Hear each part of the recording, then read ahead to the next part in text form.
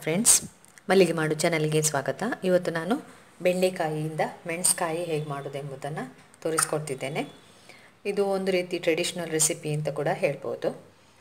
ಅದಕ್ಕಿಂತ ಮೊದಲು ನನ್ನ ಚಾನಲನ್ನು ಹೊಸದಾಗಿ ನೋಡ್ತಿರೋರು ಮತ್ತು ಸಬ್ಸ್ಕ್ರೈಬ್ ಮಾಡದೇ ಇರೋರು ಪ್ಲೀಸ್ ಸಬ್ಸ್ಕ್ರೈಬ್ ಮಾಡಿ. ಅದೇ ರೀತಿ ಹತ್ತಿರದಲ್ಲಿ ಬರುವಂತಹ ಬೆಲ್ ಬಟನನ್ನು ಒತ್ತಿ. ಆಗ ನಾನು ಮಾಡಿರುವಂಥ ಹೊಸ ವಿಡಿಯೋಗಳು ನೇರವಾಗಿ ನಿಮ್ಮನ್ನು ತಲುಪ್ತದೆ. ಬೆಂಡೆಕಾಯಿ, ಮೆಣಸ್ಕಾಯಿ ಮಾಡಲಿಕ್ಕೆ ಬೇಕಾಗುವಂತಹ ಪದಾರ್ಥಗಳನ್ನು ನೋಡ್ಕೊಳ್ಳಿ. ಬೆಂಡೆಕಾಯಿ ತಗೊಂಡಿದ್ದೇನೆ. ಅದೇ ರೀತಿ ಈ ಮೆಣಸು ಐದು ಇದೆ. ಇದು ಹುರಿದಿಟ್ಕೊಂಡಿರುವಂಥ ಮೆಣಸು. ಅದೇ ರೀತಿ ಬೆಳ್ಳುಳ್ಳಿ ಎಸಳು ಮೂರಿದೆ ಸ್ವಲ್ಪ ಮೆಣಸು. ಒಂದು ಮುಷ್ಟಿ ತೆಂಗಿನ ತುರಿ ತಗೊಳ್ಳಿ. ಜಾಸ್ತಿ ಬೇಡ. ಯಾಕಂದರೆ ಸ್ವಲ್ಪ ಖಾರ ಇರ್ತದಿದ್ದು ಈಗ ಹೇಗೆ ಮಾಡೋದೆಂಬುದನ್ನು ನೋಡೋಣ. ಮೊದಲಿಗೆ ಬೆಂಡೆಕಾಯನ್ನು ಚೆನ್ನಾಗಿ ತೊಳೆದು ಉಜ್ಜಿಡಿ.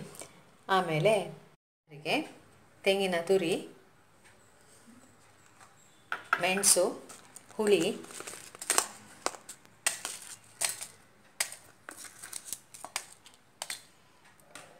ಬೆಳ್ಳುಳ್ಳಿಯನ್ನು ಹಾಕಿ ನುಣ್ಣಗೆ ರುಬ್ಕೊಳ್ಬೇಕು.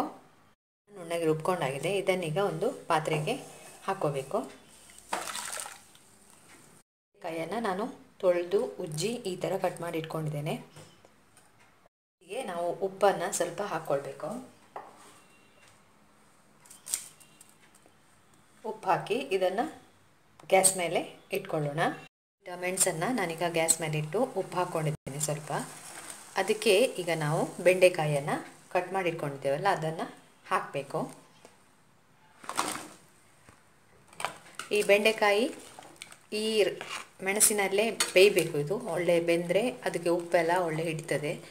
ಈ ನೀರು ಆರೂವರೆಗೆ ಇದನ್ನು ಒಳ್ಳೆ ಬೇಯಿಸ್ಕೊಳ್ಳಿ.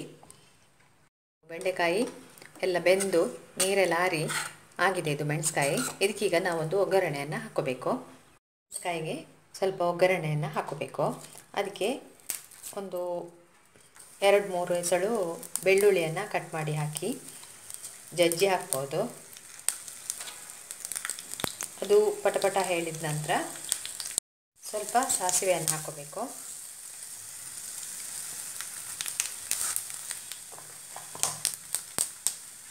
ನಂತರ ಸ್ವಲ್ಪ ಕರಿಬೇವು ಇದ್ದರೆ ಹಾಕ್ಕೊಳ್ಳಿ ಗ್ಯಾಸ್ ಆಫ್ ಮಾಡ್ಕೊಳ್ಳಿ. ಕಾಯಿಗೆ ಬೆಳ್ಳುಳ್ಳಿ ಒಗ್ಗರಣೆಯನ್ನು ಹಾಕಬೇಕು. ಆಮೇಲೆ ಸ್ವಲ್ಪ ಇದು ಮಾಡಿ ಹಾಕೊಳ್ಳಿ. ಕಾಯಿ ಮೆಣಸ್ಕಾಯಿ ರೆಡಿಯಾಗಿದೆ ಈ ರೆಸಿಪಿಯನ್ನು ಟ್ರೈ ಮಾಡಿ ತುಂಬ ಒಳ್ಳೆ ಆಗ್ತದೆ. ಬೇಕಾದರೆ ನೀವು ಸ್ವಲ್ಪ ಇದಕ್ಕೆ ಬೆಲ್ಲವನ್ನು ಸೇರಿಸ್ಕೋಬೋದು. ನಾನು ಸೇರಿಸ್ಕೊಳ್ಳಿಲ್ಲ. ಈ ರೆಸಿಪಿಯನ್ನು ಟ್ರೈ ಮಾಡಿ. ಈ ರೆಸಿಪಿ ನಿಮ್ಗೆ ಇಷ್ಟ ಆದರೆ ನನ್ನ ಚಾನಲನ್ನು ಲೈಕ್ ಮಾಡಿ ಶೇರ್ ಮಾಡಿ ಸಬ್ಸ್ಕ್ರೈಬ್ ಮಾಡಿ ಅದೇ ರೀತಿ. ಲಿಂಕನ್ನು ನಿಮ್ಮ ಫ್ರೆಂಡ್ಸ್ಗೂ ಸೆಂಡ್ ಮಾಡಿ. ಇನ್ನು ನಿಮಗೆ ಮುಂದಿನ ವಿಡಿಯೋದಲ್ಲಿ ಸಿಗ್ತೇನೆ. ಧನ್ಯವಾದಗಳು.